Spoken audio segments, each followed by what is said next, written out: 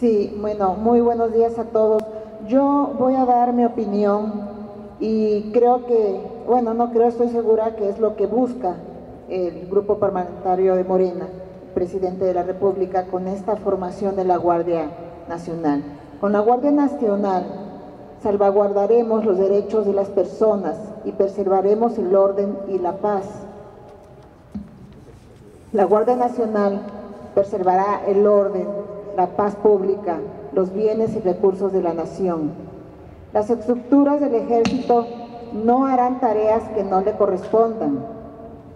La Guardia Nacional se formará por federales, militares y navales preparados y capacitados continuamente para atender a sus comunidades.